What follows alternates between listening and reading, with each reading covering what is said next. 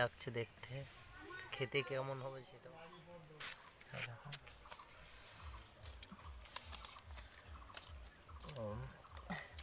সেই পনিরটা দেখি কেমন।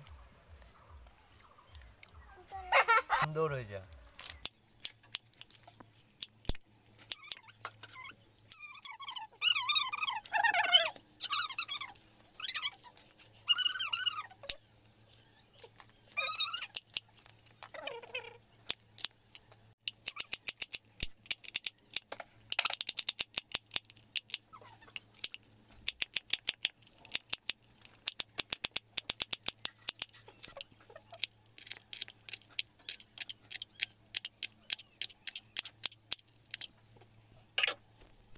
ভালো তো? এখন আমরা পটল পনির রান্না করে খাব। পটল নিয়ে নিয়েছি, আলু নিয়ে নিয়েছি, তো এতে হলুদ দেবো, হলুদ দিয়ে, হালকা পরিমাণে হলুদ দিয়ে এটাকে মাখিয়ে নেব। তো সবার আগে আমরা সাদা তেল দিয়ে দেবো। আলুগুলো ভেজে নেব এতে। এটা বন্ধ করে দাও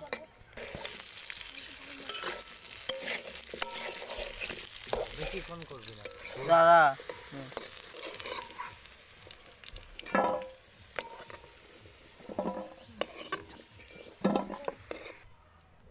তো এবার পটলগুলো ভেজে নেব।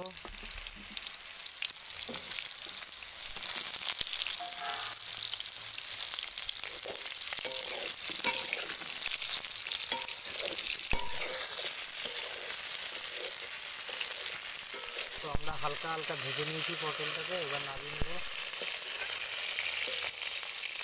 এগুলোকে দিয়ে দেবো।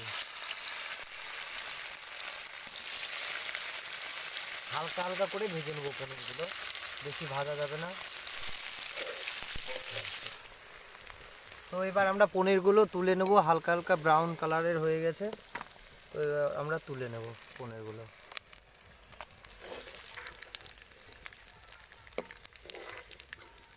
দারচিনি, লবঙ্গ আর হচ্ছে তোমার এলাচ দিয়ে দেবো। শুকনো লঙ্কা দিয়ে দেবো। তেজপাতা ভালো করে একটু শুকনো লঙ্কা। এরপরে দেবো পেঁয়াজ বাটা, দিয়ে দেবো আদা বাটা, দিয়ে দেবো একটু রসুন রসুন বাটা হলুদ।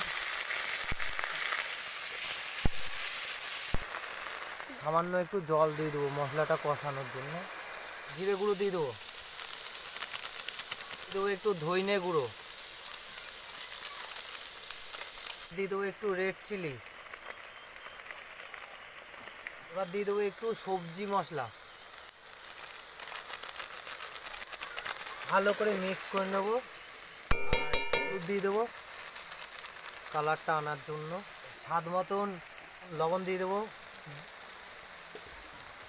মিক্স করে নেব। এবার দিয়ে দেবো একটু জল। এবার দিয়ে দেবো ভেজে রাখা পটল। দিয়ে দেবো ভেজে রাখা আলু। করে মিক্স করে নেব। এবার দিয়ে দেবো পনিরগুলো। ভালো করে মিক্স করে নেব।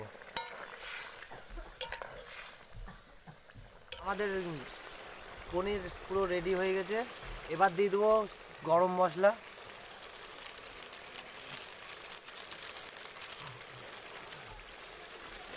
একটু মিক্স করে নিই গরম মশলাটা। পনির কমপ্লিট হয়ে গেছে। এবার আমরা নামিয়ে নেব।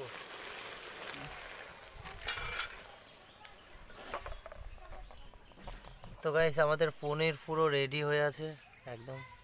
সেই লাগছে দেখতে। খেতে কেমন হবে সেটাও জানি না। দেখা যাক কীরকম হয়। সুন্দর গন্ধ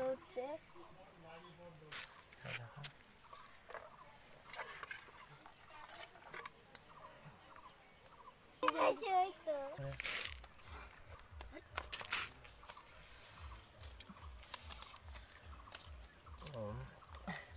সেই পনিরটা দেখি কেমন। সুন্দর হয়ে যায়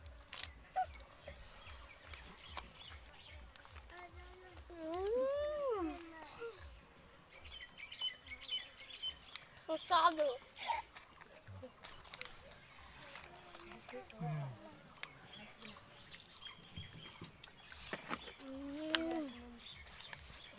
অসাধারণ শুরু করছি হুম। এসে না আমাদের